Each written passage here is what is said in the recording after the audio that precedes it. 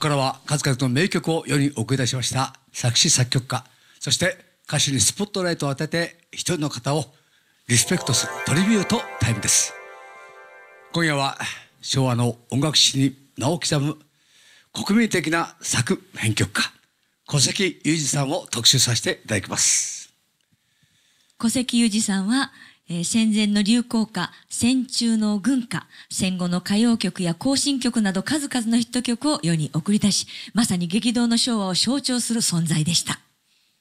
福島市の呉服店に生まれた小関裕二さんは、幼少期から音楽好きで、ほぼ独学でクラシック音楽を学ばれ、10歳の頃からピアノで作曲を始められました。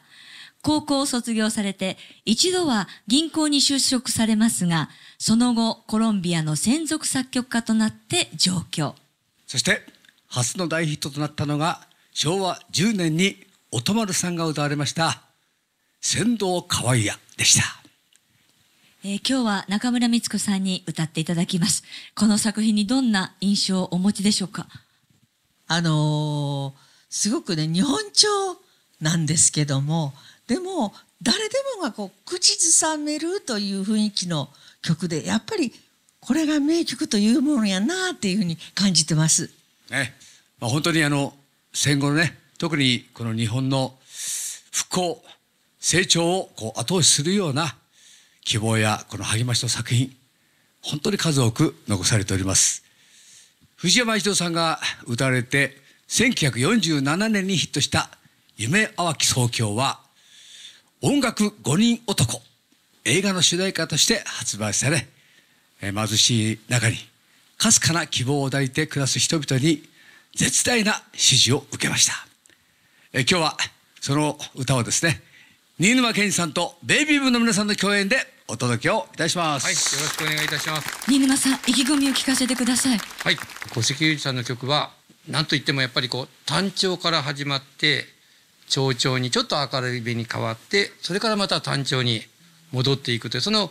移り変わっていく時そういう時がすごくなんか、えー、花で言うと、えー、ちょっと薄暗い花からもう綺麗ななんかもう淡い花に変化していくようなとても素敵な、えーと、作品だなといつも思っております。そうですね、はい、そういった意味ではそのマイナーが始まってね途中からメジャーに変わっていくっていうのは本当にね音楽がガラッと変わるんですよ雰囲気がね。この辺は見事にね、やっぱり作曲された方だと思いますね。はい。はい、そして「夢淡き東京」の翌年に発売されました双葉明子さんの代表曲「フランチェスカの鐘」を今日は久美子さんに歌っていただきます。はい、あの ブルースのようなあの、まあ、ブルース的なやつでそういうの双葉さんが、えー、その、まあ、シャンソンも歌われたりそういういろんなこう洋楽っぽいものを入れて歌われるんですけど菊田和夫さんの詩というのに驚きましてなんかなかなかの舶来感があって 素敵だなと思いました。はい、もうとにかくね菊田和夫さんとはもう大のいわゆる仲間だったんですよ。はあ、だから菊田和夫さんとのコンビっていうのは数多くあるんですけれど。えーまあ、ラジオからラジオドラマからね、はい、主題歌として、えー、もう数多く残されているんですけれど、まあ、その一つがですね、はい、なんといっても折茂子さんが歌われてヒットしました1953年の「君の名は」です。えー、この曲を今日は永山陽子さんに歌っていただきます。えー、この曲の魅力いかがですかね？魅力あのやっぱりこの歌を改めてあの聞きますと時代をすごく感じました。私がデビューしてからはやっぱりこういう歌と出会ったことは今までなかったので改めてこう凛として歌ってる歌声がなんか妙にこう染みてくるなっていうのをまたなんか改めて勉強させられました。この歌はですね、はい、まあラジオのねこの主題歌として流れるわけですけれど、その時間帯になると銭湯がガラガラになったそうですよ。はいラジオを聞くために。ラジオを聞くために。まあ当時はラジオという時代でしたからね、えー、そして山本お嬢さんにはさあ何を歌っていただきますでしょうか？はいあのベイビーブーの皆さんと一緒に、はい、高原列車は行くよ。いいですね。歌わさせてもらいますが、はい、あの5000曲ある中でいつ調べてもベスト10に入ってるっていうそうですこの歌は。明るい歌ですから明るい歌なんですよね。あの力を合わせてね、はい明るくね、楽しく歌えれば。そう。最後のね「高原列車はランランランランラ行くよ」ところ「ランランランランラ」っていうところが良かったんですよ。一生懸命歌います。はい、はい、えーそして最後は五木ひろしさんに、えー藤山一郎さんの1949年のヒット曲「長崎の鐘」を歌っていただきます。改めてこの曲の魅力についてお聞かせください。この歌はですねマイナーから始まっていって途中にメジャーに変わっていくんですよ。このスケール感とかそれからまた希望にあふれたねみんな頑張っていこうというそういうメッセージも含めてとても素敵な作品、はい。では参りましょう。小関裕二さんのトリビュートタイム。まずはこちらの曲からスタートです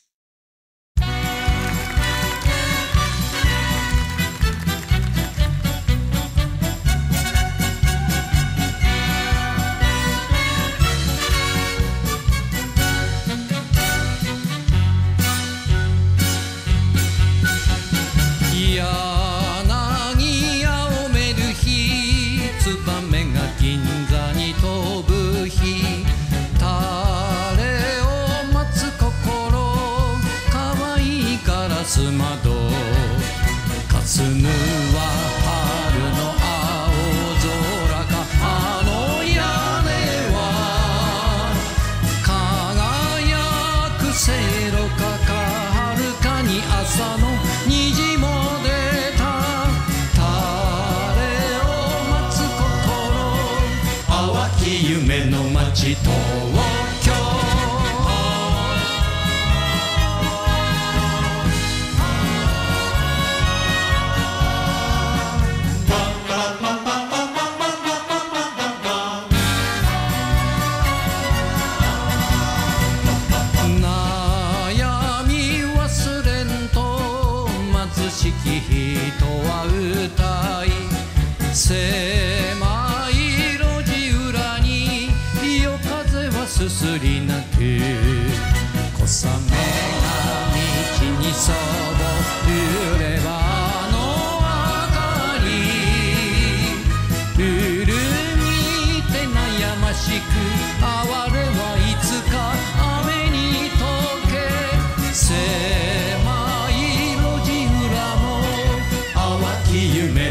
夢の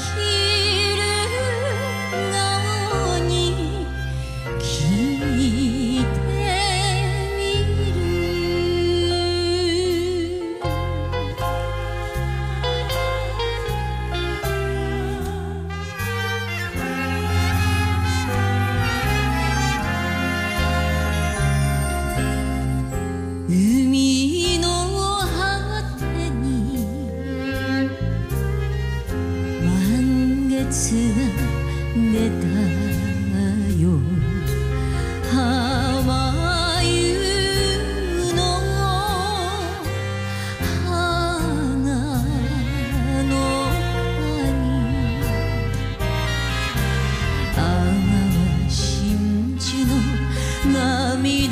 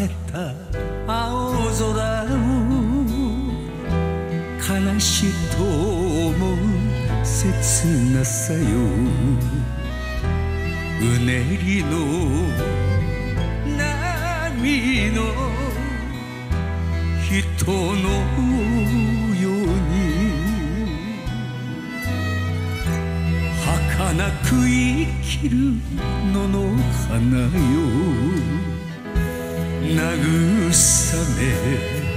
항해 맛이 나가